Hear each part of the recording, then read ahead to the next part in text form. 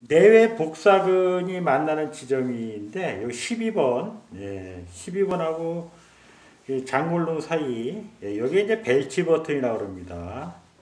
그래서 이제 그 외복사근과 내복사근이 서로 교, 차점이에요 여기 이제 이렇게 누르면 트림이 나온다 그래서 벨치 버튼이라고 그러는데 이렇게 누르는 게 아니라 어떠한 이제 압을 계속 지속적으로 반복을 하게 되면 예, 트림이 나게 되고 트림 나면서 이제 위산이 같이 따라 올라면서 식도염도 생기게 되고 그런 것들이 위장 장애로 이제 연결이 돼서 사실은 이 내 복사근의 압통으로 인해서 발생이 된 건데 치료는 저쪽 가서 하고 있다는 거죠.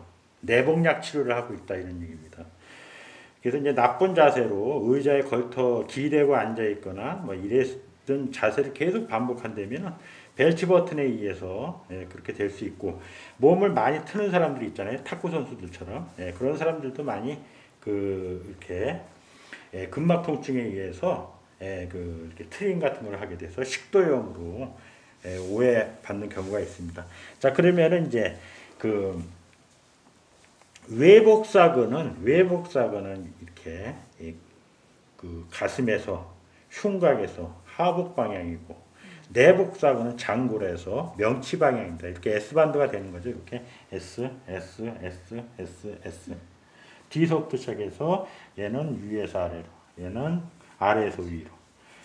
S, S, S, S, S, S. 이렇게 됩니다. 자, 그래서 이제 축으로 놓고 이제 마사지를 해야 후면도 마사지를 할 수가 있죠. 자, 이때 이제 면적이 크니까 수장으로 하지 마시고 전환을 잘 쓰시기 바랍니다.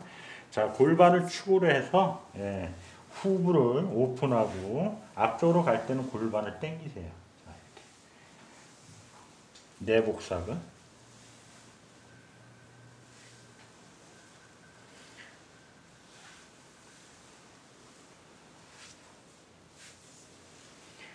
외복사근은 이제 반대죠. 위에서 아래로. 네.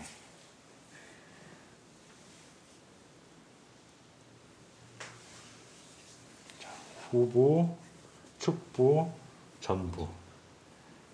시골 결합부 방향입니다. 여기 반월선이 있으니까 반월선은 복직근이죠.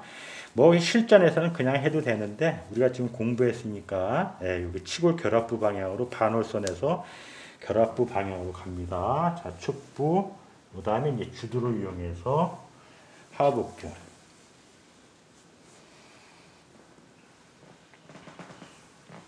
자, 후부, 후부 외복사근, 축부 외복사근, 전부 외복사근. 자, 후부 내복사근, 후부 축부, 자, 내복사근, 네, 상부. 자, 후부, 축부, 상부. 자, 이게 결과적으로는 이게 대각선으로, 예, 위에서 아래로, 아래에서 위로 해서 S반드를 계속 연결해서 마사지를 하면은 내복사근을 마사지하게 되고, 그 텐션이 여기 그 벨치 버튼에서 약간 이완이 되면은 내장성 질환 같은 증상들이 없어지게 돼요.